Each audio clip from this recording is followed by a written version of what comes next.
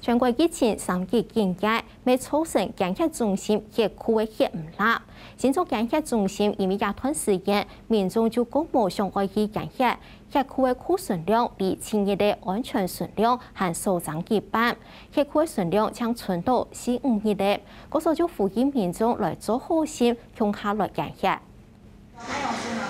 建血中心人员门内建血嘅民众，呢条是韩国后开始准备抽血。进入建血中心讲，到今年五月中，民众减少去五倍，底下血库嘅存量比过年期间存到五年嘅存量还下少。新竹健血中心到今天早上为止，我们的各类血型的安全库存量只有到四点五天。好，这个。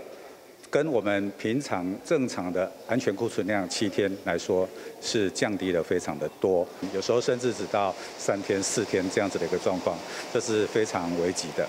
挑白平常时除咗度管好嘅叫咗建血室內超血之外，還會出同建血差参加發同本年內建血，呢下風熱期间主判斷會都係此消發同咧，未減少民众建血嘅次数，不過還係用多熱心嘅民眾做同到中心建